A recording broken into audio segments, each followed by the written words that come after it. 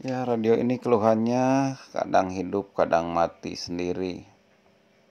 Tapi, nah ini mungkin lagi posisi tidak mau hidup.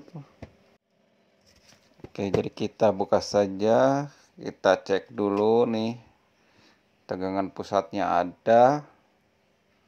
Tegangan 8 voltnya ada.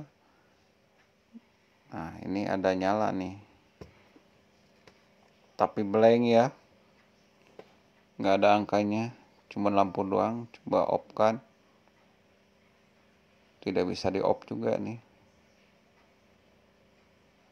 Hanya nyala saja. Coba tekan tekan lagi. Nggak bisa. Sekarang kita cek tegangan yang masuk ke CPU semuanya normal ya tegangan yang masuknya. Harusnya ini sudah hidup tapi dia kembali mati.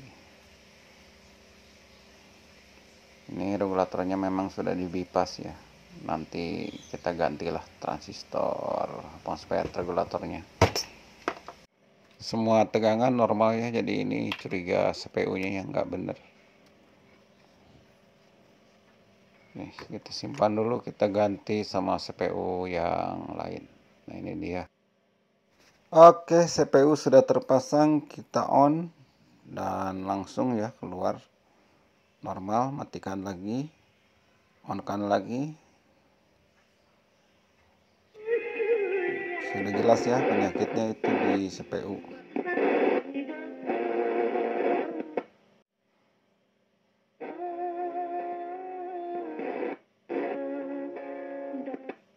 Ya sudah menjelang panas kita coba lagi on off nya oke radio berjalan normal ya. Berarti memang itu positif CPU nya yang rusak. Jadi kita bongkar saja. Karena ini cover radio bawaannya akan dipakai. Jadi cover CPU yang tadi kita cabut dan cover inilah yang akan kita pasang.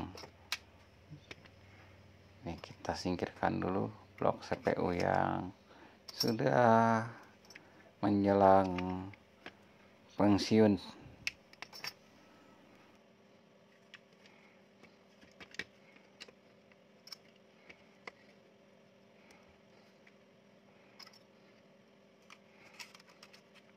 Setelah pertukaran cover depan kita kencengin lagi CPU nya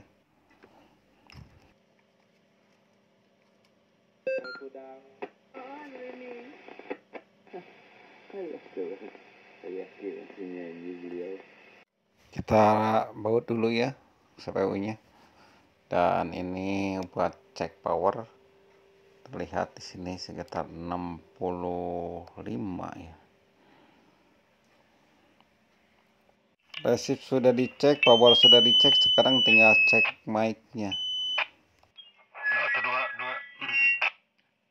Sekarang tinggal benahi bagian regulatornya supaya di kan tidak ngejeos ya.